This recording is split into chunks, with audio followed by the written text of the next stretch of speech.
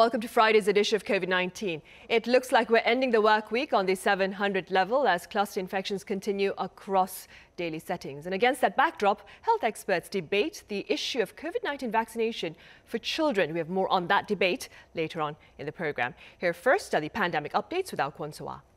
So there's been another surge in cases here in Korea.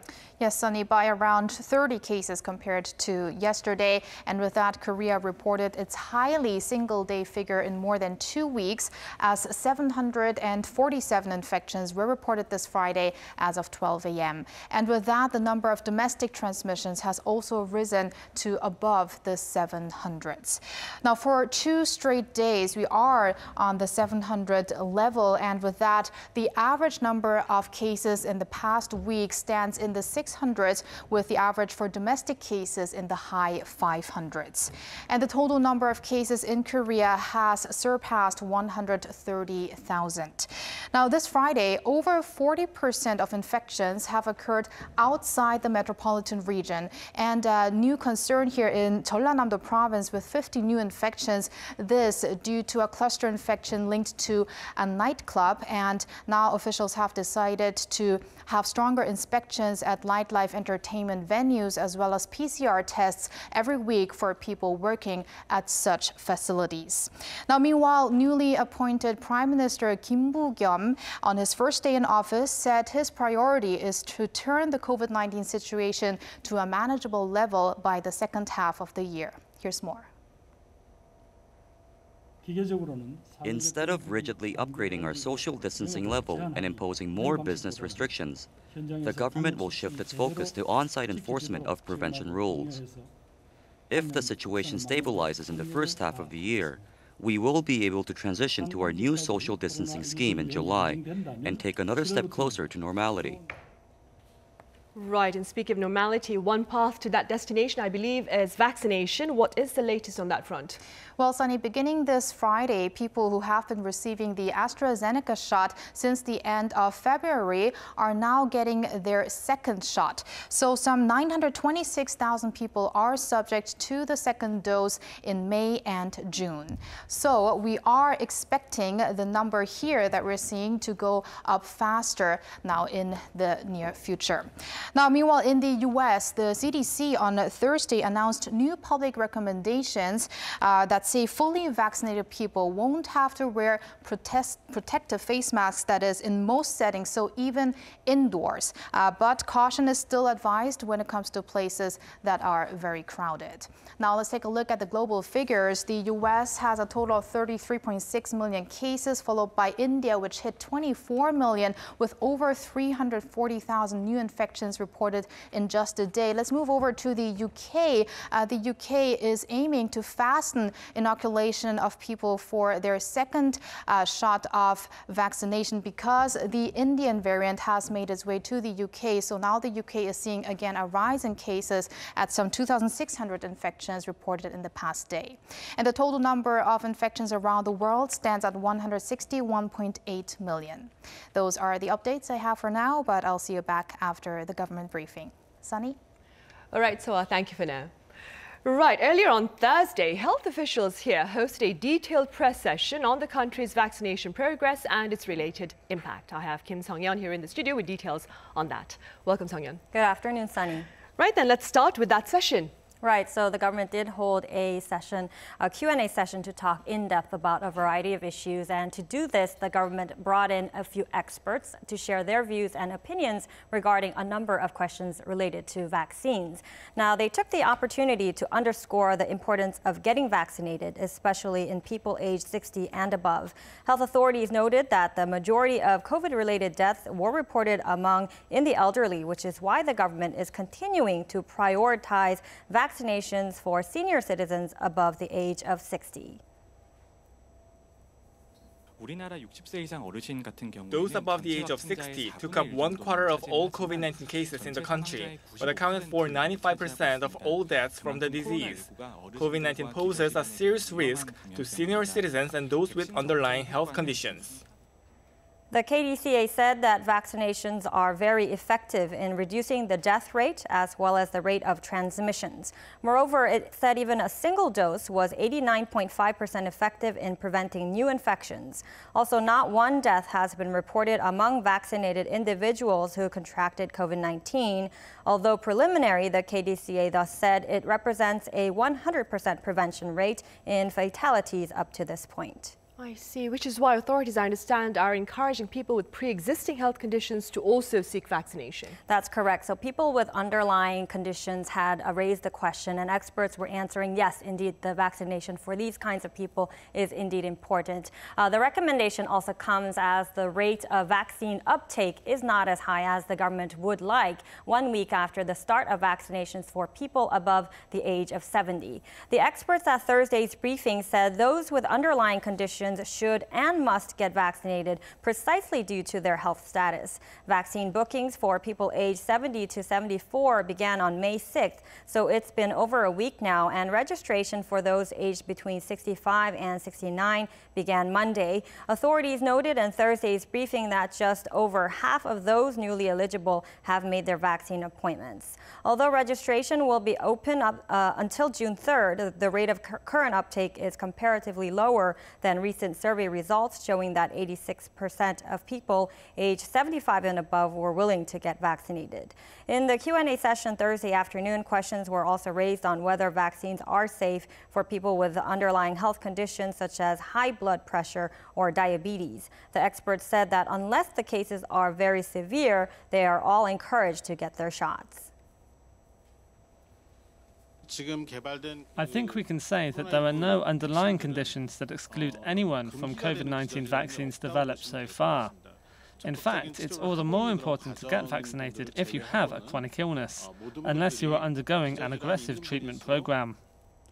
The government said adverse reactions were reported in only 0.2% of people in their 60s who got their vaccines, a rate that is similar to those in other age groups. With that, health authorities once again encouraged all members of the public to get vaccinated, citing the lower risk of death, transmissions, and serious illnesses.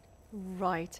I understand the government also touched upon the issue of compensation for post-inoculation mm -hmm. problems. Right. The, the KDCA Commissioner Chung Eun-kyeong uh, talked in depth about this uh, in Thursday's afternoon briefing and indicated that the government would broaden the scope of its compensation program indeed. Once the National Vaccine Injury Compensation Committee has reviewed a case and identified a causal link to the vaccines, all medical expenses, including the cost of diagnosis, treatment, and care, as well as other reimbursements, will be provided by the government. The government has decided to provide reimbursements even in the case of minor side effects involving COVID 19 vaccines that incur out of pocket expenses of less than 300,000 Korean won. The government will cover the medical cost of all side effects, even those involving small sums to treat mild after effects.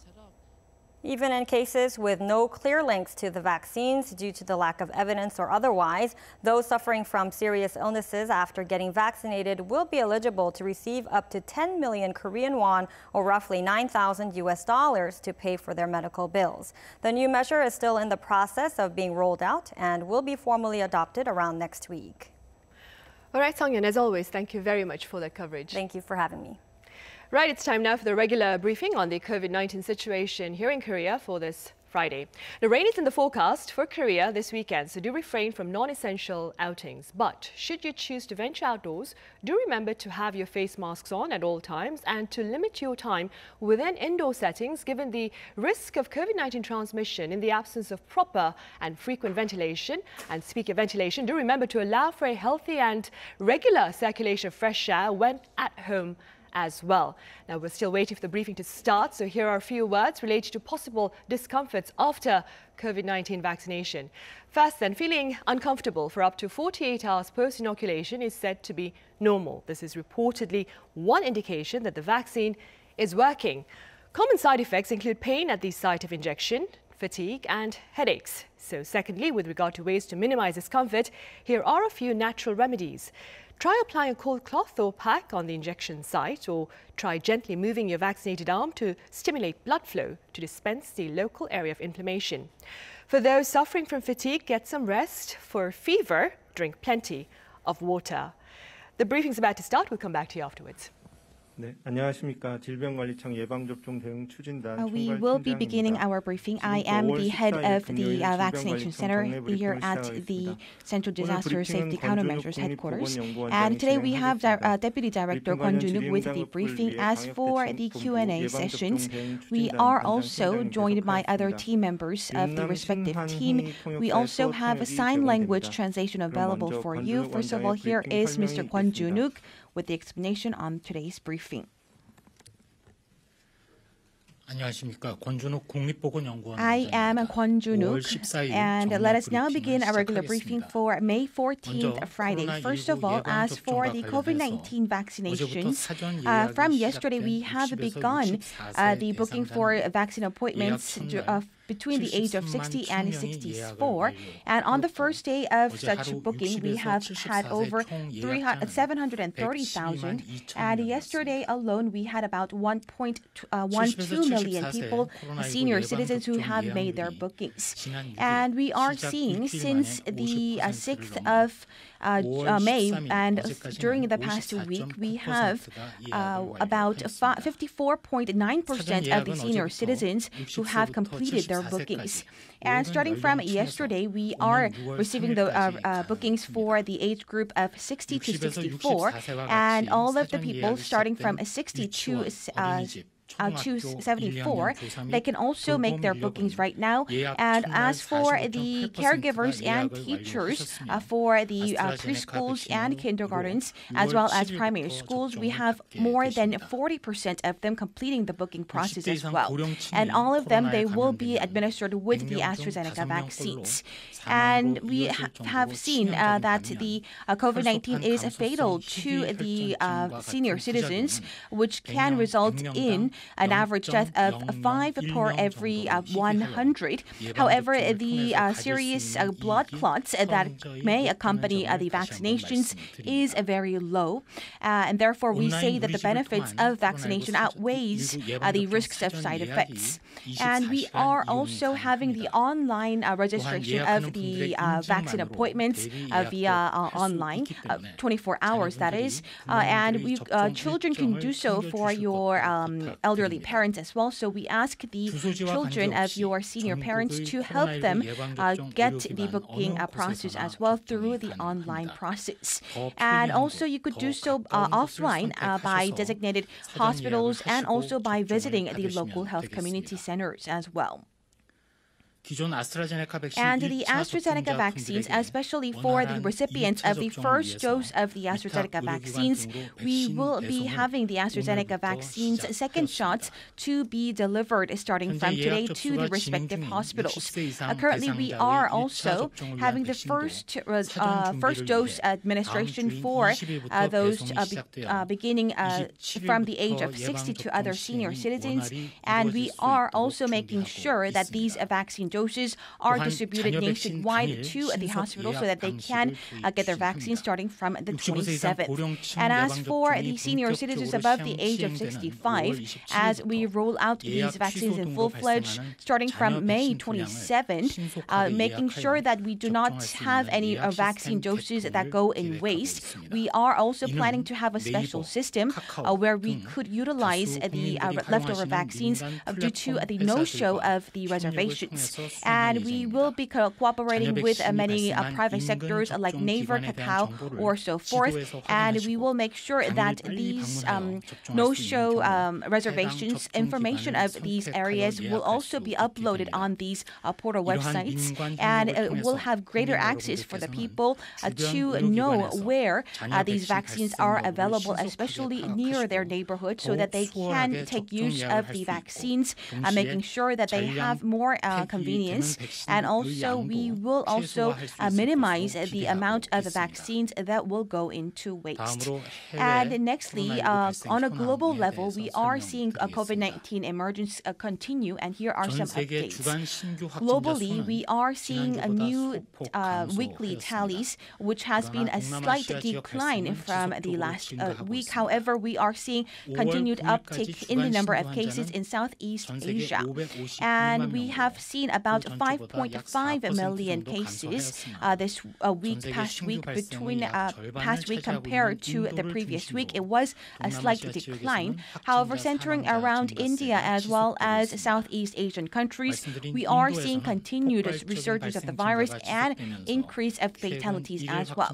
And as mentioned in India, we have seen over one, uh, 400,000 daily cases, and in Nepal as well, we have seen a surge in the um, cases and fatalities with over 76, uh, 79% rise in daily infections. And on the other hand, in countries that are um, rolling out their vaccines in full fledged, they are seeing a large decline of the uh, infections. And in Israel and UK and the US, which has over 45% vaccination rate, they are also seeing a cl- uh, clear decline of the new cases. And also in many European countries uh, whose uh, vaccination rate hovers around 25%, like Germany, they are also seeing a slow decline of the cases. To this end, the Korean government will also exert our full efforts to roll out the vaccines. And now we also have the updates for the critically ill uh, patients as for COVID 19, uh, starting from February and uh, April. And we have seen after the uh, peak, it peaked in November, we have seen uh, that this has been a steady decline uh, and it reached about 2.7%. And in April, we have seen a temporarily, uh, we has we have seen a, slight increase in the uh, proportion of critically ill patients. And as for the fatalities, we also see continued uh, decline in the fatalities, which hover around 0.63% here in uh, April as well, while the figure is tentative. And also, uh, lately, we are seeing a surge, a, a slight increase in the number of um, fatalities, as well as also uh, the uh, proportion of critical ill patients in the uh, few weeks of April. However, we see uh, that this has been attributable to uh, the uh, large infections of uh, cluster infections at senior citizens' uh, welfare facilities. And during the past months, we have seen continued days of our daily tally hovering more than above the 400 mark.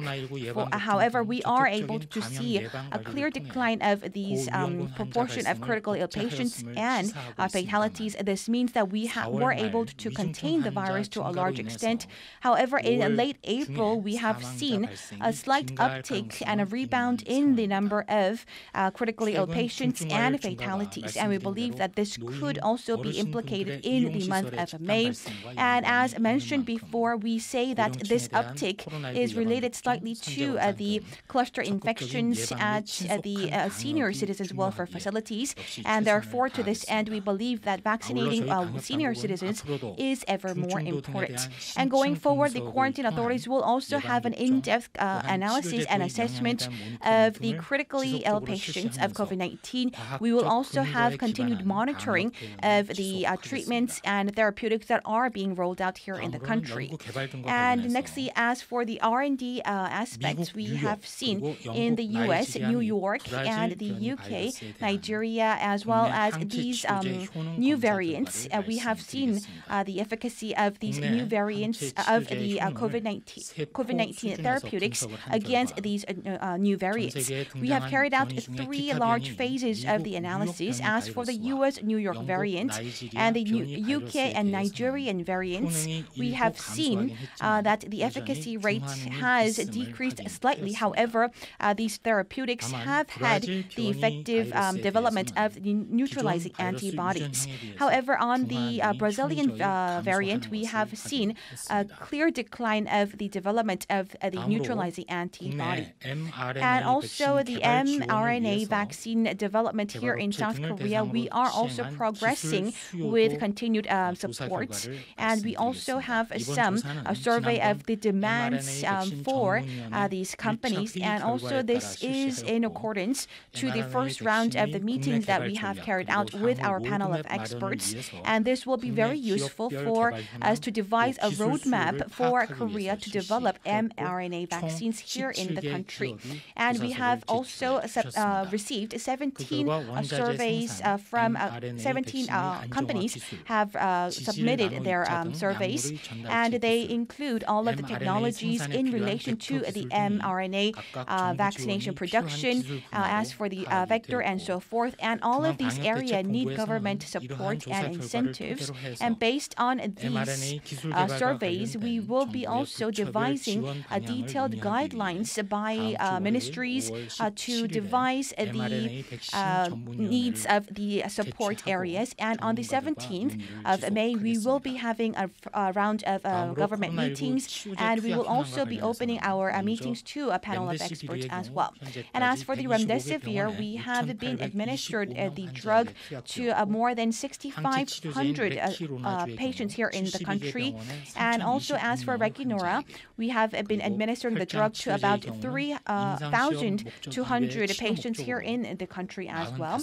And as for the uh, the blood plasma treatment, we are also having the approval of 45 uh, cases um, under the Ministry of Food and Drug Safety. And as for the culture of culturing of the COVID-19 uh, vaccines, uh, COVID-19 um, genes, that is, we are also continuing to uh, carry these out as well. And going forward, we are also having, uh, we have also have had the continued culturing of the new variants, and they have been uh, also doing across uh, 49 uh, institutions here in South Korea.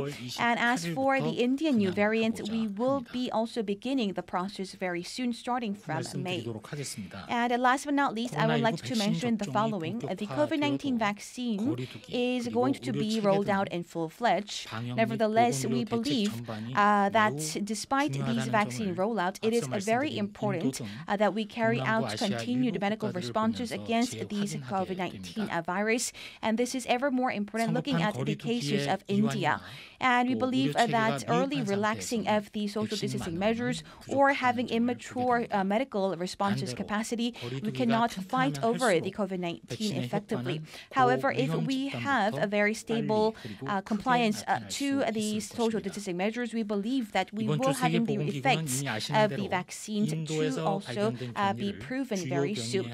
And the WHO has said that uh, has mentioned the Indian vaccine as one of the new variants of concern. And we believe that the COVID 19 vaccine, new variant that is, uh, these mutations are a very grave threat to the uh, humanity. And they also pose a higher transmissibility and also is more detrimental at, as well. However, we have learned during this process, we have the VS clade. We have seen that this was a new, uh, this also um, transmitted and mutated into a new G8 strain. And as you um, remember, we have overcome these emergence of new variants with the um, compliance of the social distancing measures. Uh, right now in Korea, we have fewer and less uh, new variants compared to other countries. And in the case of UK, we have seen uh, that they are also dominated by the UK variant. And this UK variant, it has a very high transmissibility and high uh, rate of fatalities. However, uh, we also have proven effects of the COVID-19 vaccines and treatment against these UK variants. And there could be going further and more variants uh, going further. And we believe that there could be also very deadly new, new variants going further as well. However, we also see that most of these uh, vac- uh, most of the viruses could also um, uh, suppl- uh, replace uh, other um, strains and other mut- mutants as well. And we believe that they can emerge in countries that have weak medical response capabilities. this means that it will also take a significant of time, even as for us to acknowledge or identify these new variants.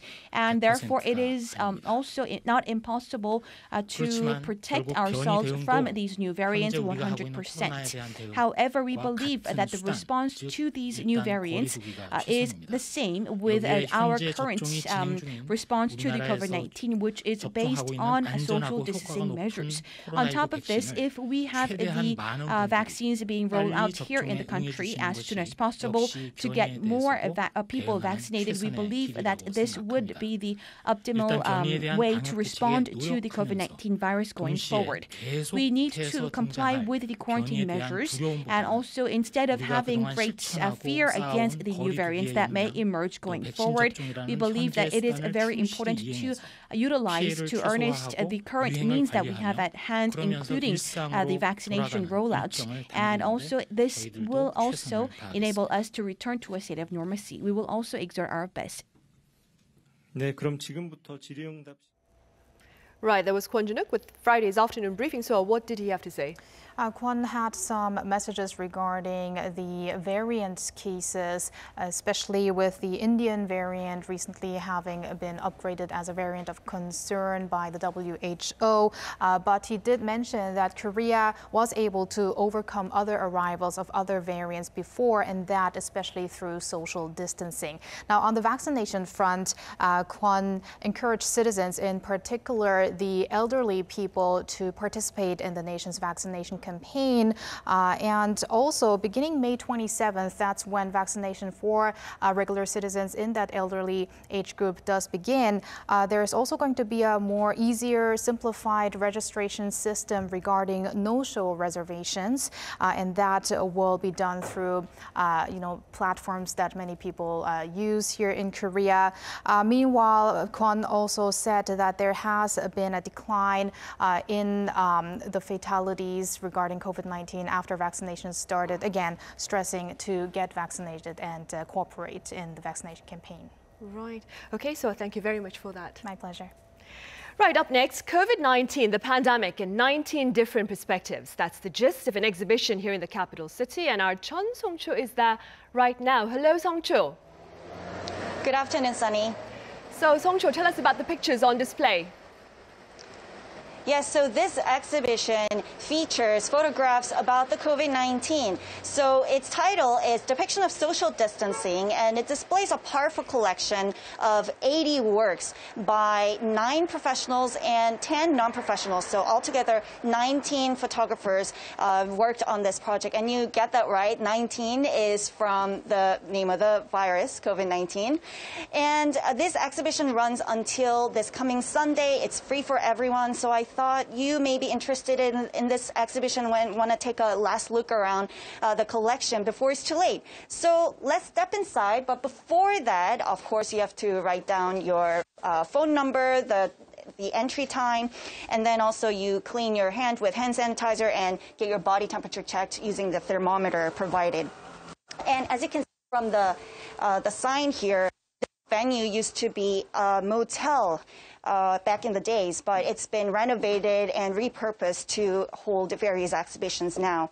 So we're going to go to the second floor, and um, what I want to mention, what I find special about this exhibition is that it displays and it showcases stark realities of COVID-19, how it appended uh, the way people work, live, and interact, communicate, uh, but also uh, it captures and it highlights small moments of our daily lives that we pay, we tend to not pay attention to, and those moments have been captured by ordinary people.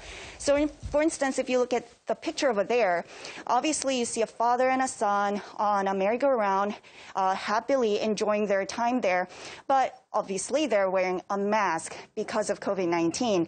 And this ride, merry-go-round, also kind of symbolizes how this COVID 19 pandemic seems to be just going on and on and on with no end in sight. And if you look at other pictures too, here is a picture of just piles of garbage uh, because obviously we had that uh, plastic waste crisis ever since COVID 19 with people doing uh, online shopping and ordering food, delivery food.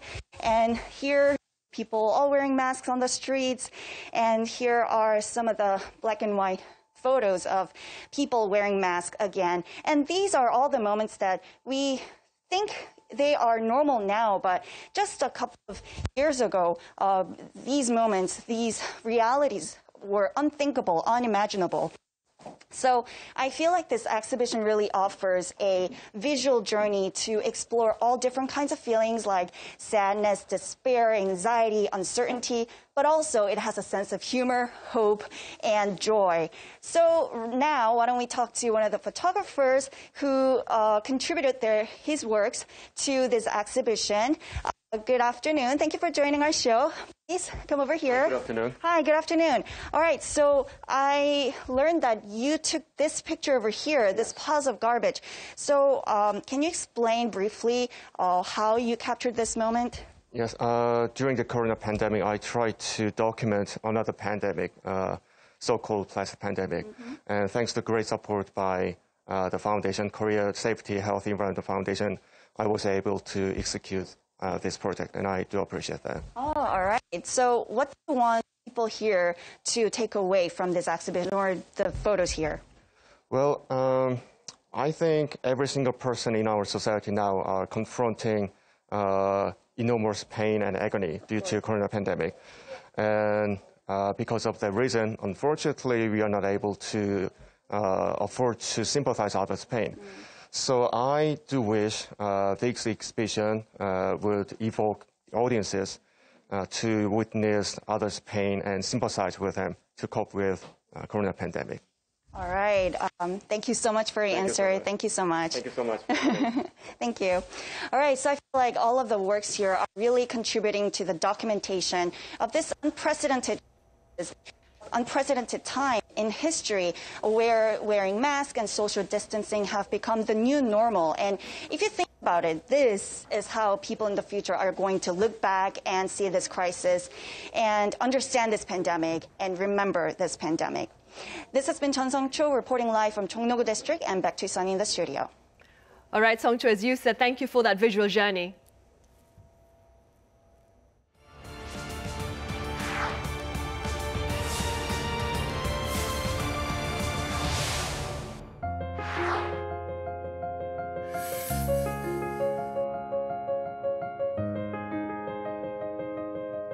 Vaccine for kids between the ages of 12 and 15 are safe, effective, easy, fast, and free. So my hope is that parents will take advantage of the vaccine and get their kids vaccinated.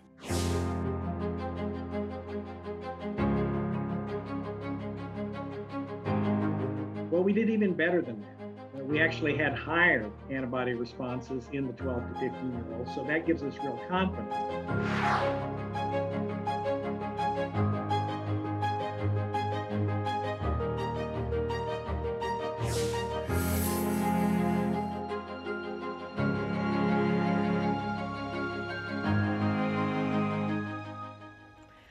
Authorities in the U.S. have expanded their public inoculation campaign to include children aged 12 to 15 for the Pfizer vaccine. For more on this, I have Professor Kim Moon-kyu from the Department of Pediatrics at Yonsei University, who's also the director of the Global Development Center at the university. Good to see you again, Professor Good Kim. Good afternoon. And I also have Dr. Cecil Czerkinsky from the French National Institute of Health and Medical Research. Pleasure to have you with us, Dr. Czerkinsky. Nice to join you, Sunny. So what brings you to Korea? Private because I'm private reasons because I'm married to a Korean lady, and uh, also for exploring potential areas of collaboration between private and public sectors in both countries. I see. It's an exploration. Uh, okay. Measure. All right then, Dr. Czerkinsky, what are your thoughts on inoculating children against COVID-19 in hopes of reaching herd immunity? I will tend to be very cautious and uh, maybe today be the devil's advocate when it comes to children, because I'm not only a scientist, I'm a father. And a father of uh, three children, one of which is uh, what we call an immunocompromised uh, individual. So I have particular uh, uh, concern on this aspect. I would say that first, from a public health perspective, it will be necessary to immunize children if they are demonstrated to be a major source of uh, SARS-CoV-2 transmission. And if the vaccine do indeed block against transmission. so far, the epidemiology tells us that young children uh, have a high likelihood of developing COVID-19, but that's via household contamination. The second aspect is that there's very little evidence of secondary infections from children below 12. So it depends what kind of children we're talking about, below 12 or teenagers. But in the case of young children, like 12 years old and below, the emerging data would, however, say that the current vaccines that we have may block transmission, but we don't know if blocking transmission is long, long lasting. So far, it's promising, but I would expect that it is not as long lasting as one would think uh, in comparison with protection against disease. The third aspect is the ethical perspective. There's a balance between risk and benefit in offering a COVID 19 vaccine to children that will offer minimal protection to the kid and maybe not much benefit to the population. So one should weigh out those two aspects. The fourth and very important element, based on the previous one, is the practical impact that uh, would have uh, a new vaccine to be deployed within the childhood immunization program. Okay, this could interfere uh, with such programs, and uh, it particularly have a negative impact when those childhood immunization programs have difficulties or become precarious to deploy, especially in developing countries. And finally, we have one important aspect. You refer to herd immunity. The current target of obtaining 65 to 70 percent of the population to achieve uh, uh, herd immunity is, to me, a little bit of an overestimate. And uh, if you exclude young children from uh, mass vaccination, you will have, of course, more vaccine available okay, to immunize those people or those subgroup okay, of people who are at risk, especially elderly people or adults with comorbidities or even children with comorbidities. And you know that the present time that uh, uh, the anticipated shortage of vaccine at the global level is a big issue. And it's further amplified by the fact that we may consider to have to booster, give additional doses. We may consider to have also to produce, there's a big challenge in production, vaccines against variants. And if you add all those uh, elements together, okay, you can see what could be the negative impact of adding a vaccine or immunizing a large population of people where the benefit, the direct benefit versus the risk are not sufficiently weighed out and could impact on and could, could, could, could, could be deleterious to the global demand. Right. And, and despite the concerns raised by Dr.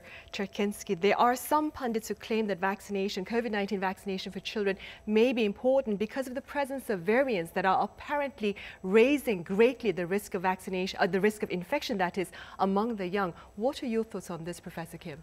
We uh, see the data from USA that the uh, uh, age below 20 composes about 20% of the total case in USA, and uh, might be possible. Uh, there might be some possible uh, reasons that the UK variant is in spreading right now, and maybe just the portion of the elderly is decreasing, so only the portions of the young children are increasing.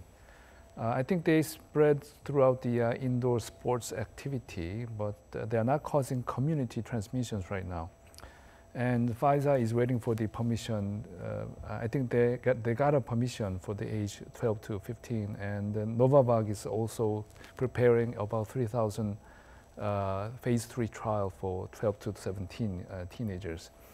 Uh, we recently uh, encountered a news from Japan, the area Osaka, that the uh, uh, the confirmed cases below the age 20 was about only 10% uh, last year, October, but now it's increased to 18%, so it's increasing.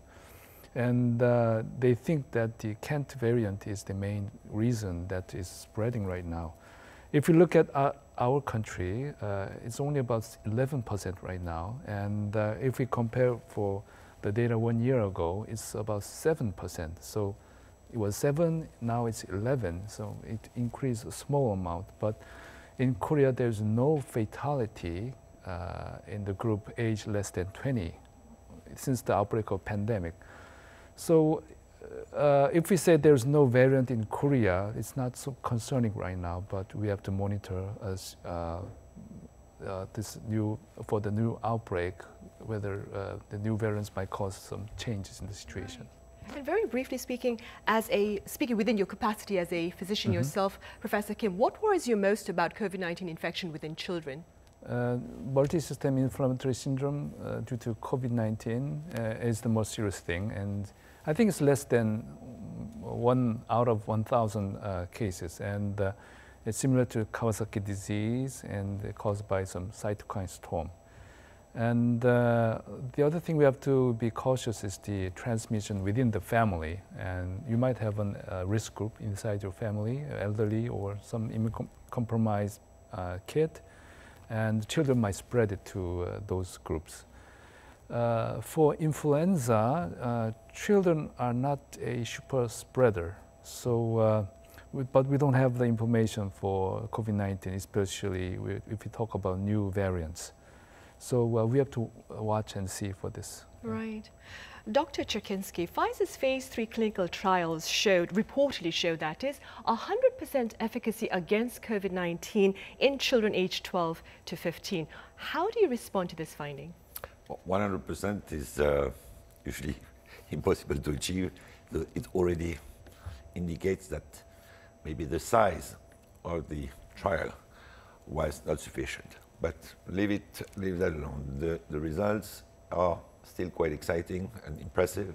They are consistent with, with the results that have been uh, obtained in uh, the um, uh, 16 to 25 years old children, and so we should not be uh, too demanding. However, there's some caution until we see the detailed uh, data. That's been relatively few cases. We're talking about 18 cases, all in the placebo group, but out of almost 1,200 children. And we do not know, at least I don't know at that stage, how severe, what is the proportion of severe COVID cases were actually detected in the placebo group. So that's uh, uh, one aspect. The second aspect is uh, that the data in terms of safety have been collected and monitored over a relatively short period of time. we're talking about four weeks after the first dose, and we're talking about two months after the second dose.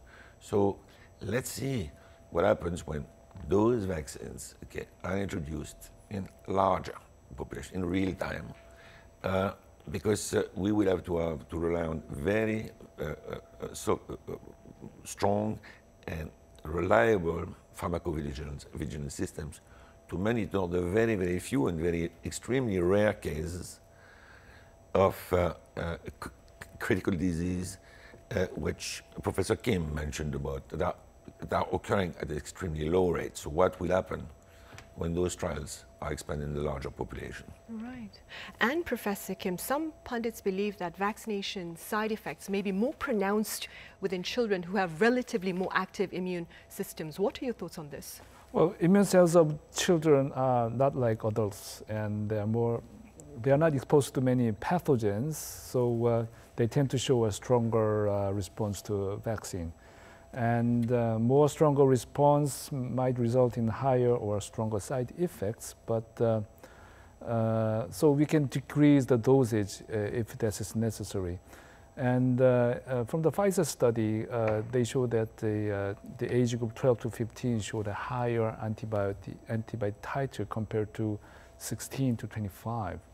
So that might be uh, that might mean that they may have more fever, but uh, children tolerate better than adults. So uh, I think uh, uh, the we should consider the early adult trial that they give a close attention for exacerbation of disease in the vaccinated people, but it didn't happen in children. And uh, for AstraZeneca and Janssen, uh, they paused the study because uh, they're not sure about the blood clot uh, in children.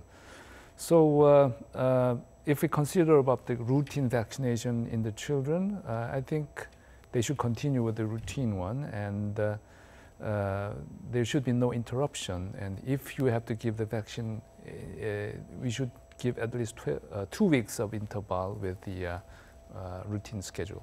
Right.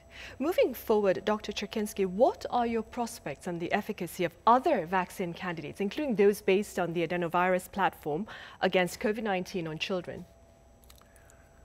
Already we know that uh, Moderna or RNA vaccine uh, has done pretty well, uh, at least in the uh, 16 and over uh, individuals. So I would, uh, I would, I would, I would expect that they would have comparative efficacy if when when, the, when tested in the 12 to 16, if it is if they are tested.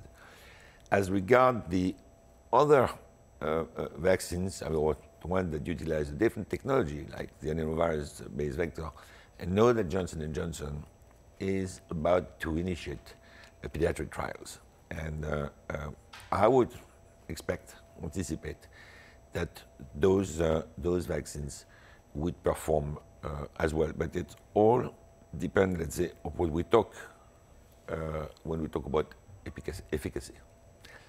Again, as I said, if you talk about efficacy, protection against severe disease, I would expect that not only those vaccines would have comparable performance. If we now talk about protection against infection, that is in the nose, the mouth, you know, the main portal of entry of the virus and its main portal of exit during transmission, that's another issue. And we do not have data, except preliminary for Pfizer and Moderna, and relatively scarce on the AstraZeneca and not on the other uh, uh, candidate vaccines that have been or will soon be uh, approved for emergency use uh, regarding the, the, their effect uh, eh, on, uh, on infection, even in the short term. So the question is still open. Right, we'll still have to think about it then. Yeah. All right, Dr. Czerkinsky, thank you very much for your insights. And Professor Kim, as always, thank you for being with us today. Thank you. Thank you, Sunny. Right, well, be sure to frequently ventilate indoor spaces and to abide by social distancing and mask wearing within enclosed settings. Have a good weekend. See you on Monday.